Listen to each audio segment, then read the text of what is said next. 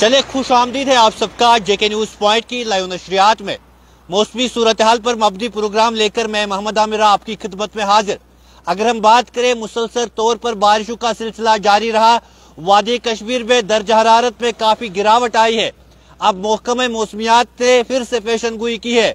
19 से 21 अक्टूबर तक जो है गर्म दिनों, गर्म दिन देखने को मिलेंगे। और साथ ही साथ अगर हम बात करेंगे 10 दिनों तक जो है बड़ी बारिशों या बर्फबारी की पेशन गोई नहीं की गई है।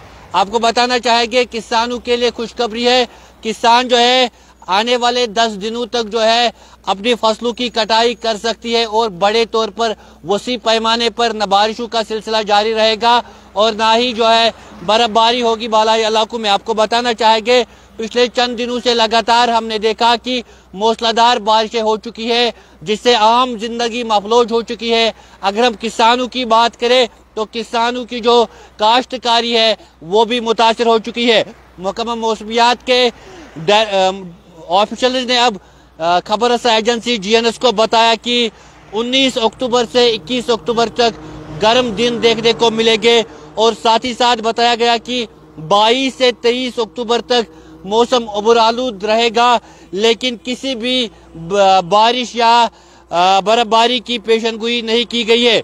इसी के साथ साथ आपको बताना चाहेंगे 24 अक्टूबर से 28 अक्टूबर तक मौसम जुजवी तौर पर अबुरालूद रहेगा, लेकिन फिर से जो है, बड़े पैमाने पर न बारिश और ना ही बर्फबारी होने के इम्कान है।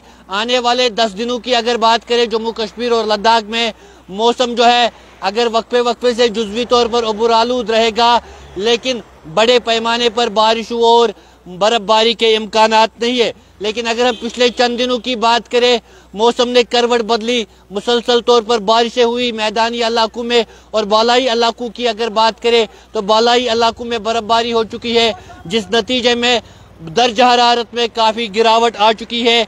और आज जो है, सुबह सवेरे और शाम के अवकात में काफ़ी ज़्यादा दर्ज हरारत में कमी देखने को मिल रही है।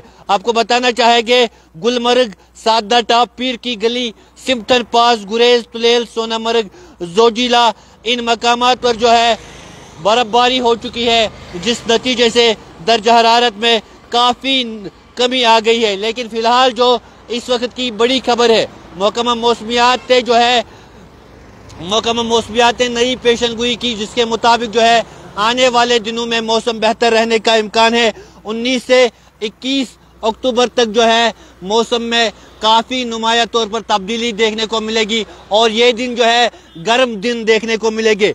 साथ ही साथ, अगर हम तेईस से 24 और 24 से 28 तक बात करें तो जुजवी तौर पर मौसम अबुरालूद रहेगा, लेकिन साथ साथ जो है, न बड़े पैमाने पर बारिश और ना ही बर्फबारी होने का इम्कान रहेगा। फ़िलहाल आप मुझे दीजिए इजाज़त। देखते रहे जेके न्यूज़